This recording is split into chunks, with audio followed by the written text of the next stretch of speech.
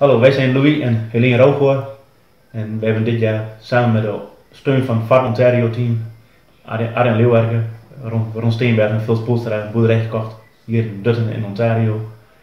En uh, ja, het is ons heel, goed bevallen de advies en de begeleiding en de, steun die we gekregen hebben van hem. En ook van Arjan als uh, immigratiebegeleider. Is uh, echt super goed geweest. En ja, we kunnen ons iedereen uh, Farm Ontario aanraden om, om er serieus meer mee te gaan. Ja. Farm al meer dan een jaar via e-mail in, contact geweest en af en toe een keer bellen. En uiteindelijk hebben we in mei samen, samen met onze kinderen een, een, trip mij naar Canada. We hebben samen met Arjan en Ron hebben we meerdere boerderijen bekeken. Niet alleen boerderijen die ze zelf te koop hebben staan, maar ook die collega-makelaars te koop hebben. En van daaruit hebben we de keuze gemaakt voor dit, bedrijf, een melkgeitenbedrijf. En dat is tot nu toe gewoon super goed bevallen.